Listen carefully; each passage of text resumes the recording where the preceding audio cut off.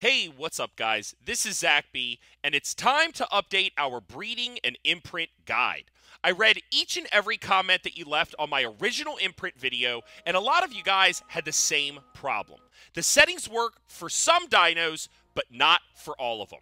So I went back and I solved the problem. There are four different categories of dinos. We have our shoulder pets and small dinos category, we have our medium slash large dinos category. Our third category is the extra large dinos. And the fourth category is our extra, extra large slash unique dinos because not all of them are extra, extra large.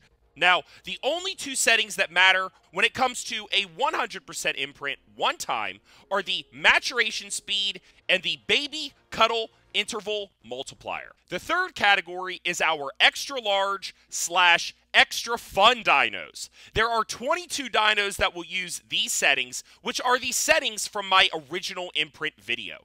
These dinos, in my opinion, are some of the most used in the game. The 100% imprint settings are maturation speed 10, baby cuddle interval multiplier 0.1.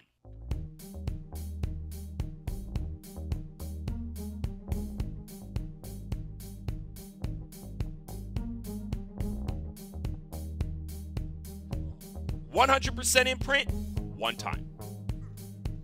Hope this helps, guys. Hit the thumbs up. Make sure to hit the subscribe. I'll see you in the next one.